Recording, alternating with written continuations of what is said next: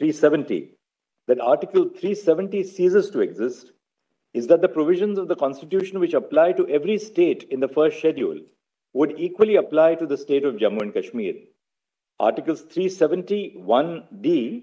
and 370 bracket 3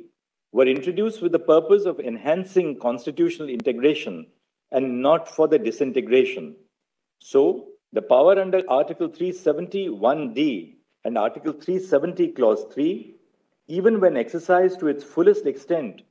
does not freeze the system of integration contemplated by Article 370, but is rather intended to enhance constitutional integration between the Union and the state of Jammu and Kashmir. Holding that the power under Article 370, Clause 3 cannot be exercised after the dissolution of the Constituent Assembly would lead to the freezing of the process of integration, contrary to the purpose of introducing the provision. And five, if the contention of the petitioners on the interpretation of Article 370 vis a vis the dissolution of the Constituent Assembly is accepted, then Article 370, Clause 3 would become redundant and would lose its temporary character. The President, while deciding if the power under Article 370, Clause 3 must be exercised, determines if the special circumstances which warranted a special solution in the form of Article 370 have ceased to exist. This is a policy decision which completely falls within the realm of the executive. The court cannot sit and appeal over the decision of the President of India on whether the special circumstances which led to the arrangement under Article 370 have ceased to exist. However, the decision is not beyond the scope of judicial review.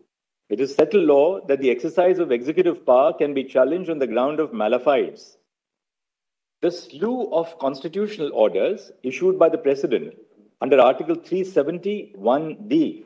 applying various provisions of the Constitution and applying provisions with modification, indicate that over the course of the last 70 years, the Union and the state have, through a collaborative exercise, constitutionally integrated the state of Jammu and Kashmir with the Union. This is not a case where only Articles 1 and Article 370 of the Constitution were applied to the state of Jammu and Kashmir, and suddenly, after 70 years, the entire Constitution was being made applicable. The continuous exercise of power under Article 370, Clause 1 by the President indicates that the gradual process of constitutional integration was ongoing. The declaration issued by the President in exercise of the power under Clause 3 of Article 370 is a culmination of the process of integration. Thus, we do not find that the President's exercise of power under Clause 3 of Article 370 was malafide. Having concluded that the power under Article 370, Clause 3 subsisted even after the dissolution of the Constituent Assembly, we have held that the exercise of power by the President to issue CO 273 is a valid exercise of constitutional power. The next issue is the challenge to CO 272 on the ground that the power under Article 370 1d cannot be issued to apply all the provisions of the Constitution to the state of Jammu and Kashmir. We have held that all provisions of the Constitution can be applied to Jammu and Kashmir through the exercise of power under Article 370 1d. The power under Article 370 1d can be used to apply one provision, more than one provision, an entire part of the Constitution, or all the provisions of the Constitution, that is the entire Constitution. The provision does not make a distinction between one or all provisions of the Constitution. Non application of mind cannot be claimed merely because CO 272 applies all provisions of the Constitution to Jammu and Kashmir in one go. The next issue is the challenge to CO 272 supreme court से आ रही है, जिसमें supreme court ने ये कहा है कि आर्टिकल 370 को हटाने का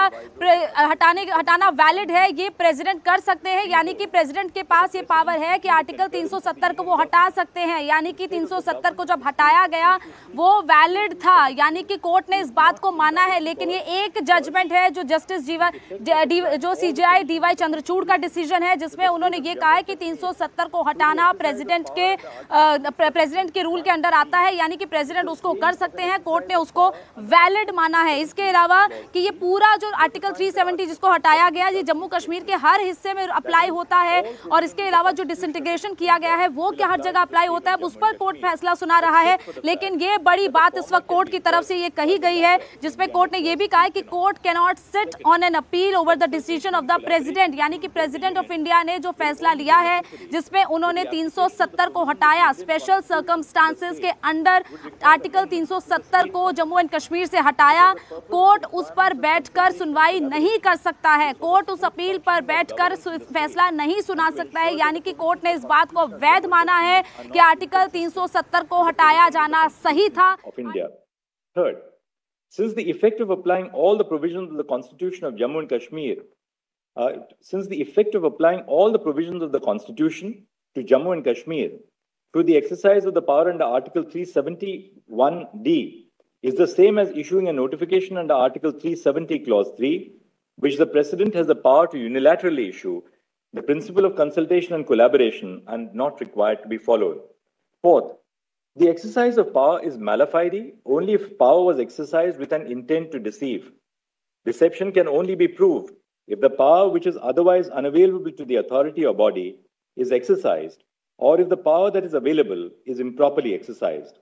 Since the concurrence of the state government was not required for the exercise of power under Article 370, bracket 1, bracket D, to apply all provisions of the Constitution to the state, the President securing the concurrence of the Union of India on behalf of the state government is not malafide. The next issue is the challenge to, art, to CO 272 on the ground that it is ultra vires Article 370 1D because it modifies Article 370. We have held that the modification by CO 272 to Article 367 as it applies to Jammu and Kashmir had the effect of amending Article 370 and is thus ultra vires Article 370 bracket 1D. We have reached this conclusion for the following reasons. First,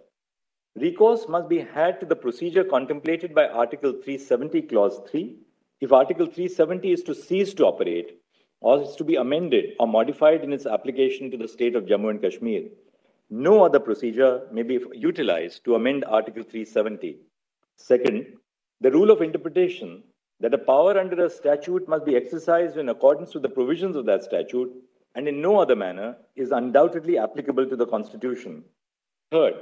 from precedent, including Shankari Prasad Singh, Sajjan Singh, Kihoto Hollohan, and Rajendra Shah, it emerges that the following aspects are of significance when assessing whether a change has been made to a provision of the Constitution. One, a change may be either in terms of or in its effect. Two, a change can be said to have been made even if the language of the concerned provision is not directly amended by adding, subtracting, or modifying the language. This is a change in effect. And three, if the effect of an amendment is to change a provision, such effect must be significant or appreciable. And four, the substance of a change is more important than its form. Second, an assessment of whether a constitutional order amounts to a modification and consequently whether the procedure under Article 370, Clause 1 or under Article 370, Clause 3 ought to have been followed depends on this standard. Third, the effect of a provision of law is as important as its form. While the change sought to be made by paragraph 2 of CO 272 बड़ी खबर आपको बता दें तीन सौ सत्तर हटाने का फैसला सुप्रीम कोर्ट मान रहा है कि यह फैसला सही था ये एक टेम्पररी प्रोविज़न था और इस पर ज़्यादा जानकारी हमारी सहयोगी गौनिका दे रही है गौनिका सबसे बड़ी बात तो यही है कि सुप्रीम कोर्ट ये मान रहा है कि 370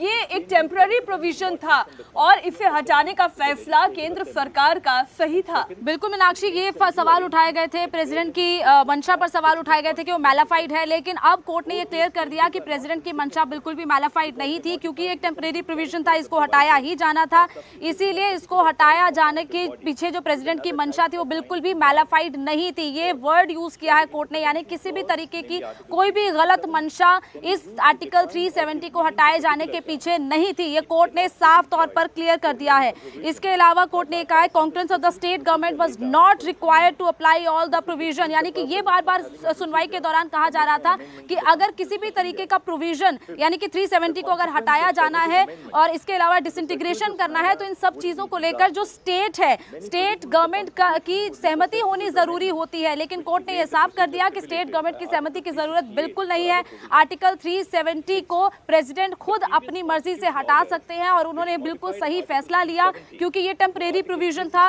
ये सिर्फ़ वॉर के क्राइसिस के दौरान उस वक्त ये फैसला लिया गया था कि 370 अप्लाई किया जाए लेकिन वो 370 तब सिचुएशन जब नॉर्मल हो जाती उसको हटाया जाना था लेकिन वो क्योंकि सिचुएशन लगातार वैसी बनी रही जिसके बाद इसको हटाया नहीं गया लेकिन क्योंकि ये टेम्परेरी प्रोविज़न था इसको हटाया जाना था और इसको हटाया गया और इस फैसले को कोर्ट ने सही करार दिया तो the Constitution of Jammu and Kashmir. The gaps left by the non application of some parts of the Constitution of India